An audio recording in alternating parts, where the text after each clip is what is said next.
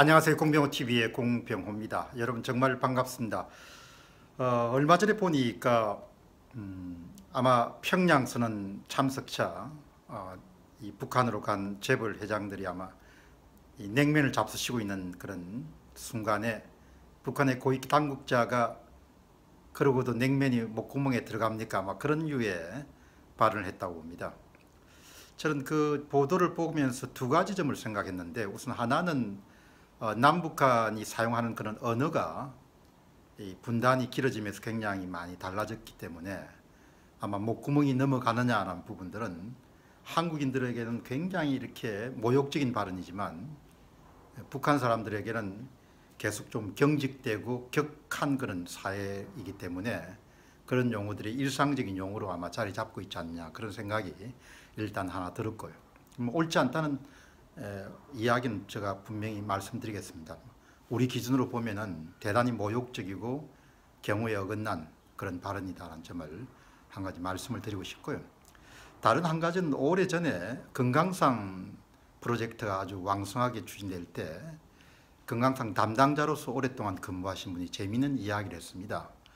어, 북한의 어떤 그 직원들하고 조금 친해지게 되면은 그때 자기가 가장 그 놀란 것은 치약이라든지 칫솔이라든지 그런 개인 사물에 대한 그런 권리나 의무라든지 이런 개념이 거의 없더라는 것이죠.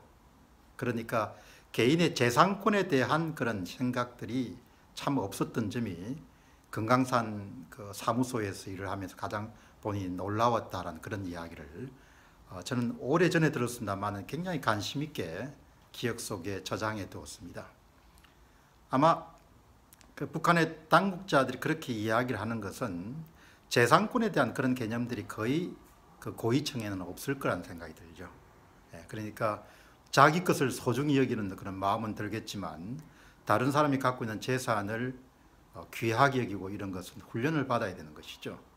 저는 보도를 보는 순간 냉면이 목구멍에 넘어가느냐 이런 이야기를 보면서 아, 이 양반들이 그냥 뭐 남쪽에다 대한민국에 무슨 맡겨놓은 게 있나 하는 그런 생각이 우선 들었습니다. 그렇기 때문에 어, 북한을 대하는 그 한국의 당국자들도 전혀 이질적인 그런 얼굴도 갖고 비슷한 그런 언어를 쓰지만 이질적인 그런 사람들을 다해하고 있다는 생각을 늘그 명심해야 될 겁니다. 재산권 개념이 거의 없다는 이야기는 기본적으로 당신 거가 내 거가 될 수 있고 또 당신 거는 언제든지 우리가 사용할 수 있다는 그런 생각을 갖고 있다는 점을 어, 유념해야 될 겁니다.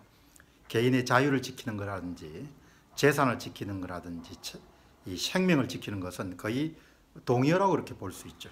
항상 상대방을 너무 믿지 말고 조심스럽게 대하고 정중하게 대하지만 상대방의 저희를 항상 읽을 수 있는 그런 현명함이 어느 때보다 요구되는 그런 시점이라 볼 수 있겠습니다.